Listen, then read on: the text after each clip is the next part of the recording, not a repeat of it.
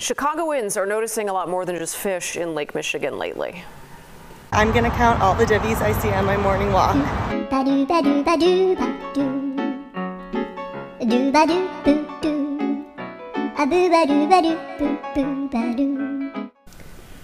During her stroll that she posted on social media, this woman found 18 Divvy bikes in the lake.